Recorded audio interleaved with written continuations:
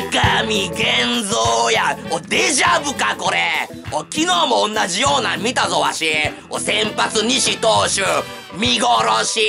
6回1失点のナイスピッチングや。お坂本藩のホームラン1本のみ。初回近本藩が見事初球をセーフティーバント決めて2投3投と決めてそして満塁となって点入らへんのかい。点入らへんのかい。あおかしいやろい。やこんなイケイケ状態で点入らへんかそれでも西藩頑張ってくれた。5回6回と満塁のピンチも乗り切って1失点で交代。西藩西藩すまんな。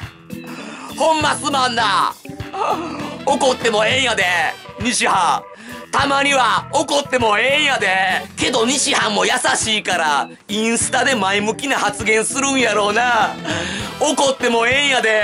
まあ西藩はなもういつもニコニコしてるからまあ怒ったことないんやろ。わしがわしが怒り方を教えたるわ。この通り真似せこの通りみんなの前で真似せええかいくぞ。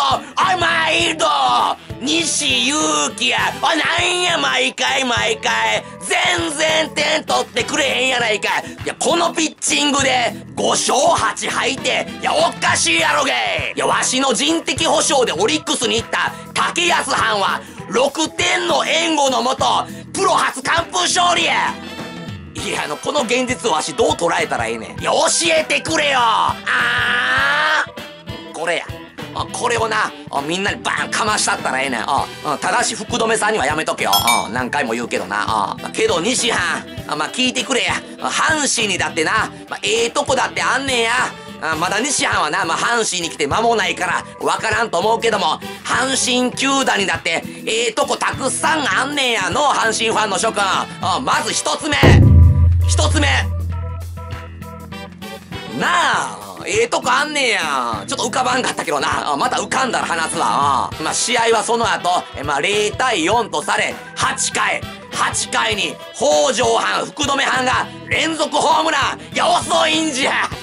遅いんじゃ。おいもう時すでに遅しや。いや2003年日本シリーズ第7戦9回1対6から打った広沢克美のホームランか。もっと打つべき時に打ってくれよ。頼むわ。頼むわ阪神さん。おい巨人ファン。いや見てんのやろ。見てんのやろ。知ってんねんぞ。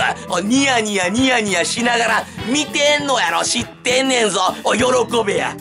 喜べや。もう巨人勝って嬉しいやろ。喜べや。万歳万歳万歳ってしろや。行くぞ。せーの。万歳万歳万歳。